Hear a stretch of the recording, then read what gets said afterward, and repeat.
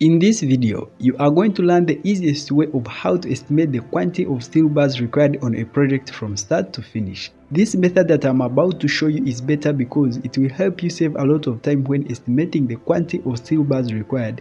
You learn how to prepare a bar bending schedule easily the fastest way and also help you make accurate estimation of steel bars required for your project. So be sure to watch this video till the end because you don't want to miss this. Let's first clearly understand what a bar bending schedule means. A bar bending schedule is a table that summarizes the cutting length of steel bars, bar bend shapes, and diameter of steel bars among other components. To start making a bar bending schedule, we need to prepare properly to ensure saving time in other upcoming videos for each structure element. The rest is easier to work out if we prepare properly. Let's dive in into these 4 easy steps to make a bar bending schedule and within these 4 easy steps, I show you a simple hack or trick that I use to get things done the fastest way and accurately. The first step is to draw an outline of the steel bar spacing and this is how it's done. For example, if you intend to use a spacing of 150 millimeters from one steel bar to another center to center, you first draw a guide like this one.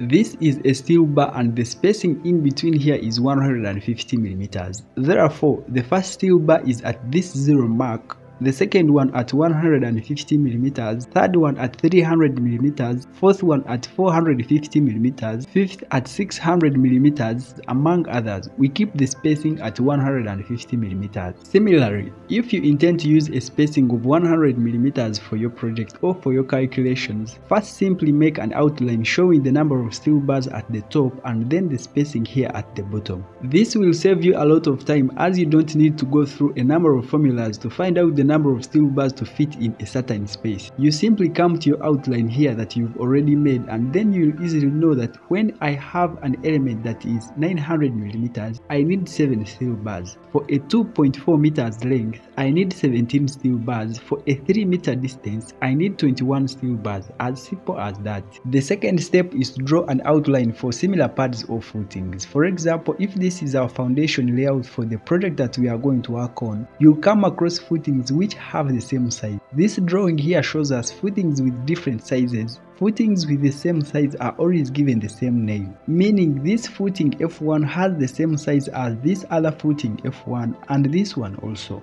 These footings labeled as F2 have the same dimensions along the length, width and depth or height. So under this step 2, we draw a table or outline showing pads or footings on the left and the total number here on the right. And when we follow our example here, we have three footings of F1 with similar size or dimensions. Footing F2 we have 5 of them.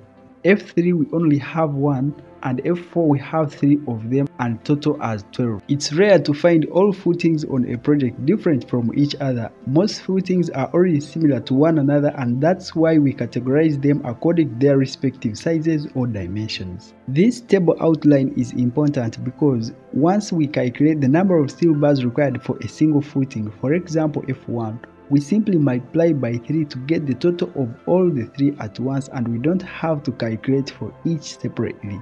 Or when preparing the bar bending shapes in the bar bending schedule, we simply find out the cutting length or bend shape for one footing and simply multiply by those of a similar kind.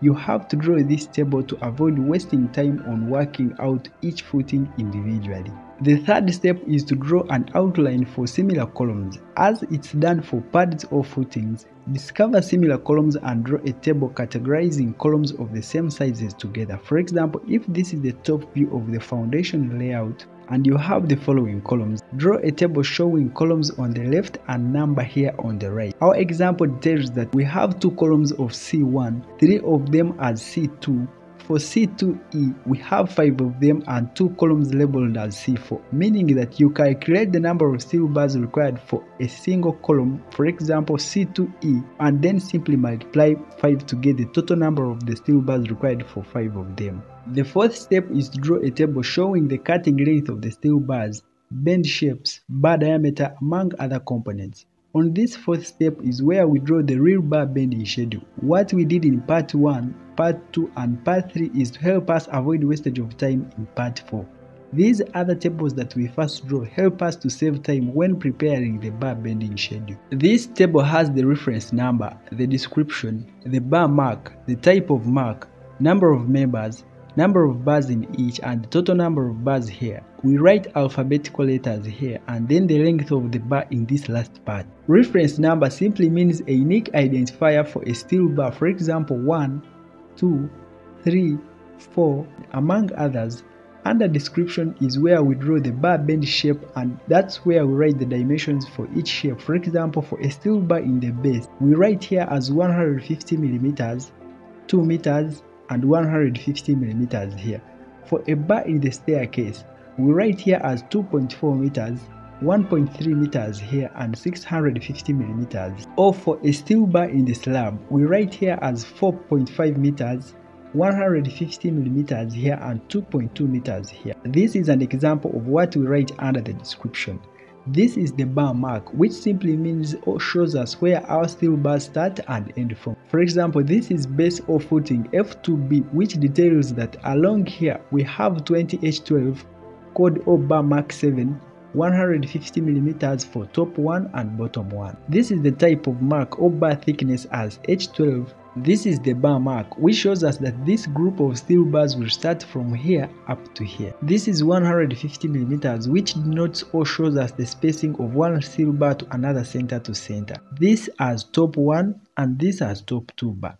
Therefore, here in the table, the type of mark will simply mean the bar thickness such as H12, H16, H10, or H20 among others. Here at number of members is where our table that we prepared in step 1, step 2 and step 3 will help us from for example 5 of footing F2. This is where we write the 5. If we have 3 columns of C2, this is where we write 3 here under the section of number of members. Then under number of bars in each is where we write the number of bars here in the drawing, put it here in the table. Then under number of bars in each is where our first table helps us from. To get the total number here, we simply get number of members multiplied by number of bars in each. For example, if we have 6 bases or footings of the same kind and each has 16 steel bars, we get 6 multiplied by 16 to get 96 steel bars as total and that's what we write here. Or if we have 2 bases or footings of the same kind with each having 10 steel bars, Total number here will be 2 multiplied by 10 to get it 20 steel bars. These alphabetical letters denote sides or shapes of steel bars. For example, for a column that is simply one-sided, it will be A. If it's 4 meters, we simply write 4 meters here under A. If it's a steel bar for the base, this will be side A, here as side B and here as side C. If it's a steel bar for the staircase, this will be side A, side B and side C here. If it's a column tie or a beam stirrup or a ring, this will be side A, side B, side C, D, E and F. For example, if this link or stirrup or column tie has 50 millimeters here for both hooks, 350 millimeters for the longer sides and 150 millimeters for the shorter side. This is what we write under the alphabetical letters here. 50 millimeters under A, 150 mm under side B, 350 mm for side C, 150 mm for D, 350 mm for E and 50 mm for F to make this total cutting length as 1 meter 100 millimeters. This is the cutting length and this is the bend shape. In summary, before making a bar bending schedule, this is how you prepare. Draw or make an outline of the steel bar spacing, draw an outline for similar pads or footings, draw an outline for similar columns and then finally make a bar bending schedule table. All that we've discussed about in this video has been about the introduction part or a simple overview of what the bar bending schedule is all about. And right now, let me introduce to you this video here on the right about how to prepare the bar bending schedule for pads or footings. I explain this in the most possible and understandable way. I also give a hack in the video on how to get the most accurate calculations the fastest way. I hope you don't want to miss this.